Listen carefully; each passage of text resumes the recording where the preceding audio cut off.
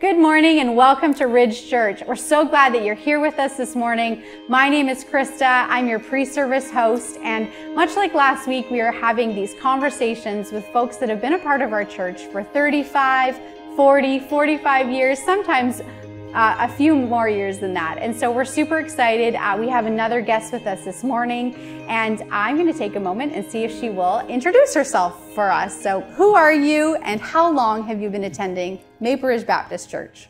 My name is Ruth Fair, and I have been attending Maple Ridge Baptist Church since I was two weeks old. Wow, that's amazing. now, how did you come here? My parents moved from Vancouver six months before I was born, and they were looking for an evangelical church, and this was the only one. So this is where we landed, and this is where I started my Sunday school years. Wow. And uh, yes, this is where I have been more or less, except for uh, seven years when my husband and I were in home missions work wow. um, in northern BC. Other than that, we have been here in Maple Ridge. That's so long. That's so neat. Now, how old were you when you accepted Jesus into your life? I was um, probably about four years old. Wow. So now looking back on all these years of following Jesus and kind of knowing who he is and, and of course being a part of this church, would you say that it has been worth it to follow after him? Hmm there are so many decisions in life. I wouldn't want to be without a guide, mm-hmm. and the Lord is our guide. Wow. Through uh, through Scripture and and just verses that He brings back to memory. Yes. We need Him for our, our guide. Yes. I wouldn't want to be without mine. Yes. Ah, that's so beautiful. What a beautiful picture that He really does sort of set us on a course. And mm-hmm. yeah, Scripture talks about that a lot. Ah, mm-hmm. Ah, so good. Um, so, being a part of this church for so many years, I'm wondering if you could let us know how uh, MRBC has impacted Maple Ridge and Pitt Meadows uh, with the gospel. I guess one of the big things is Vacation Bible School. Right. Because we just reached, would reach such an array of kids. Hmm. Everybody would bring their, their school friends, and uh, it was one big party. Hmm and a wonderful time to get to know what the church stood for, right. get to know Jesus. Mm. So yes, the uh, there was um, I don't know for how many years, 20, 30 years straight, that there was the uh, Vacation Bible School. Right. And I think you had mentioned that it was Jesus and fun. Like it was so much fun, right? Yes. Yes. That's so good. Yeah. Another thing to impact our community was when uh, Freddie Colwhite started the Singing Christmas Tree. Right. We had uh, full orchestra and drama, right. plus the Singing Christmas Tree. And the whole fall was set to, uh, to just plan for Christmas. Wow. I wasn't, uh, I wasn't one of the singers or anything. I was a couple of times and back at narration. But uh, it, for us, it was an opportunity to bring our neighbors, mm. and that was that was the big thing. People came, they were invited, and they were excited to come year after year. Wow! Because it was so well done. Right. And what a wonderful way to introduce Christmas, especially now. It seems like we can't see Christmas anywhere around us. Yeah. And uh, yeah, the posters were out, and people just knew it was a good thing to go to wow. pre-Christmas. Yeah, I love that you, everyone seemed to invite their neighbors mm-hmm. and their mm-hmm. family, mm-hmm. and there wasn't this sense of, oh, if you want to come to church, like it was no. a place of almost like pride and honor to be a part of the Absolutely. Christmas tree. Yeah, yeah, yeah, it's beautiful. Another uh, thing that we did in in this church was have Pioneer Girls. Mm. And uh, yeah, that was one of my favorite things. Mm. And uh, the outreach was into the community was great. Yes. The, uh, the number of kids from Sunday school was, was minimal compared to all the friends that they brought. Wow. And uh, yeah, just to week after week be able to put scripture into their lives and, Bible memorizing, Yeah. as well as all the fun things that we did. Right. And then on occasions, many occasions, the moms would be invited, and we got to, we really got to know the moms of these kids.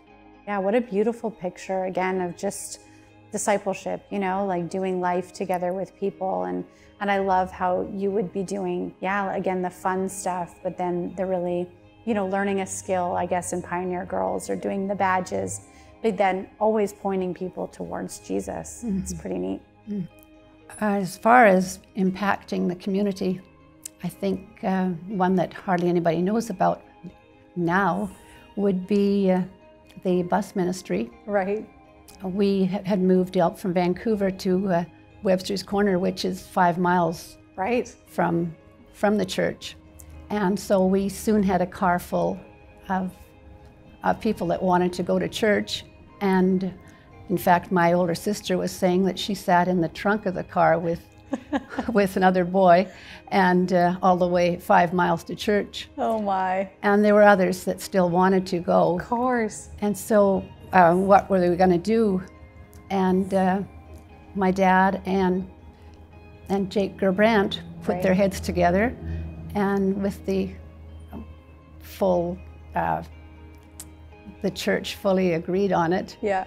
And we had uh, this uh, uh, two buses going, Wow. one to Al- one to Albion, Yeah. uh, Webster's Corner, and uh, Alexander Robertson, and then down over to Yennadon Wow. and the second bus went to uh, Hammond. And those buses were sometimes really full, believe it or not, Wow. especially the one to the east.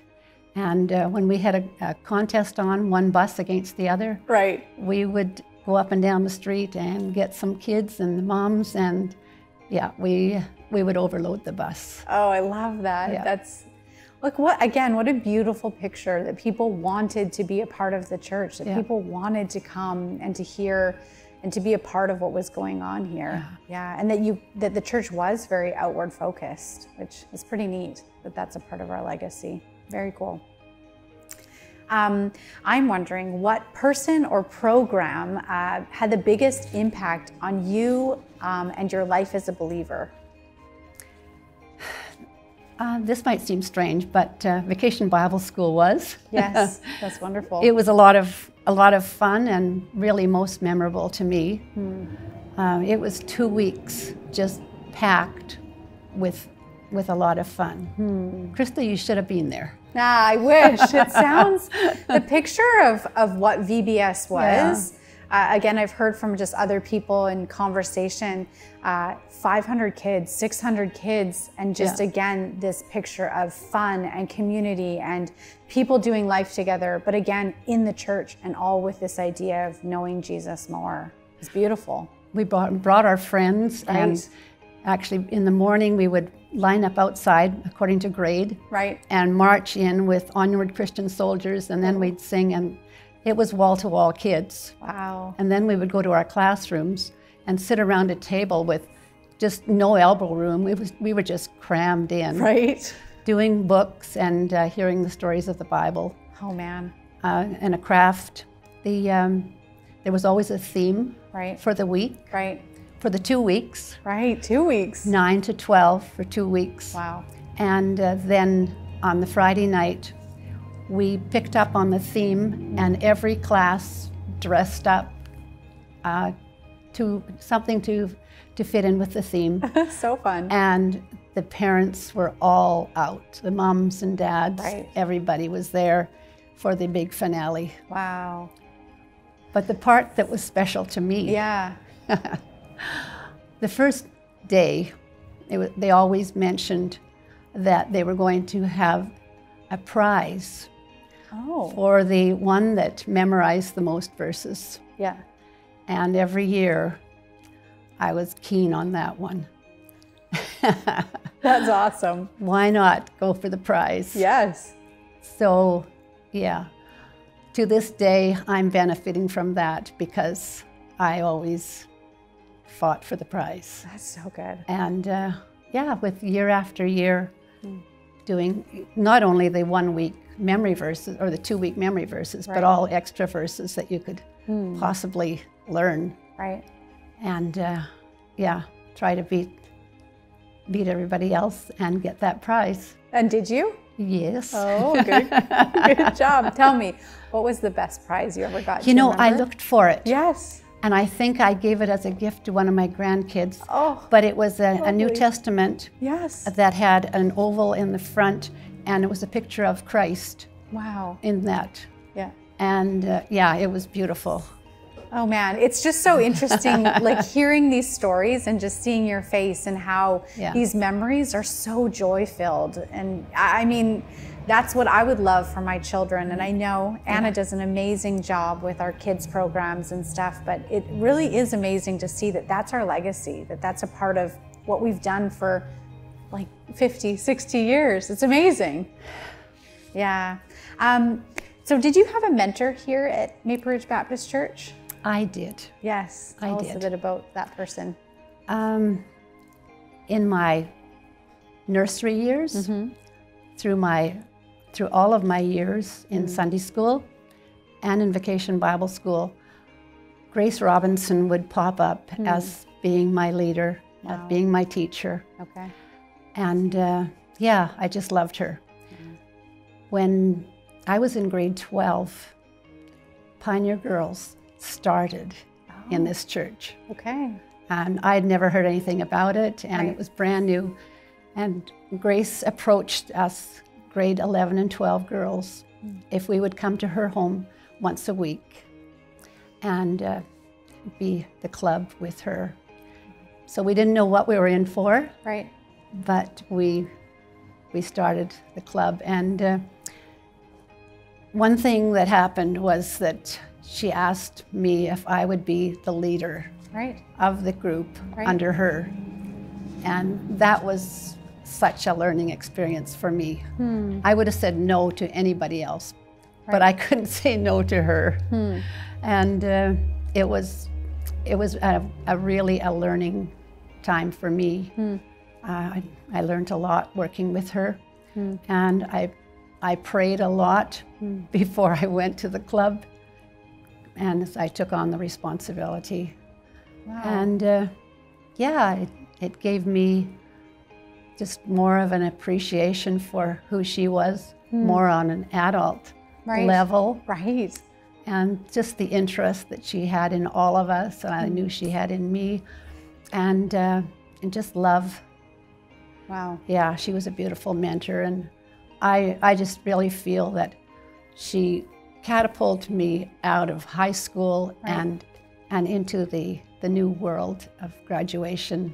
I Right. was so much more ready to be out of school after that year of working with, with the club with her. Wow.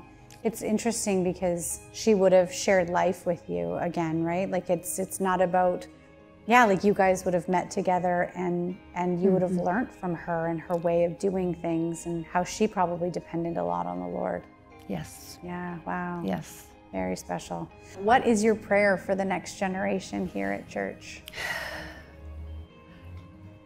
You know, when you asked that question before, and I've thought of it, um, the next generation, I'm just seeing this array of little kids that we have on Sunday. Right. Not these days, but Right? yes, Normally. Yeah. all the little kids, all the young kids, your Yeah. your little brood, Yeah. and just it's so thrilling to see them. And you know, yeah, my my prayer would be that they just grow up to to love the Lord, to hmm. really know who He is, and, hmm. and just desire to live for Him. Hmm. My I have five great grandkids, Wow. and uh, I would have the same prayer for for these Sunday school kids as I do for my great grandkids. And it comes from Isaiah. One of them is, All your children will be taught by the Lord, and great will be their peace. Another one from Isaiah is, uh, I will pour out my spirit on them. And that's, that's just what we want to see, isn't it? Definitely. That they will see Jesus. Yeah. and want to live for Jesus.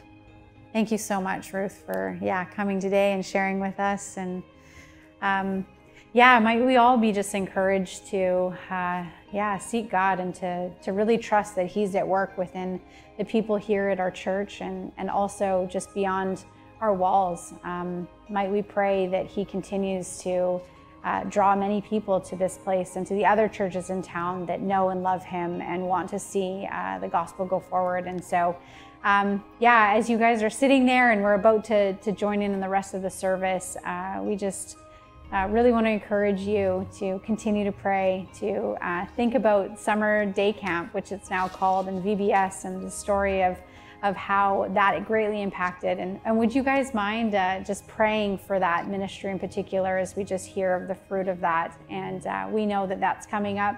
Uh, that's going to be July, I believe it's 5th to 7th or 5th to the 9th, I think. And, and just continue to uh, seek God and for what He's doing here at our church. Um, let's, let's worship together as we lead into service.